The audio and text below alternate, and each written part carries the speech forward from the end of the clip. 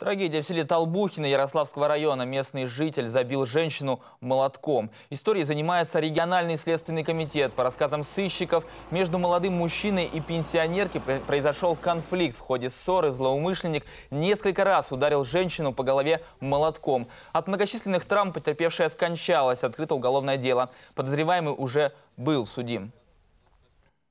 Во избежание привлечения к уголовной ответственности злоумышленник скрывался от правоохранителей. В настоящее время проводятся необходимые следственные действия, направленные на сбор и закрепление доказательственной базы. Подозреваемый задержан и дал признательные показания –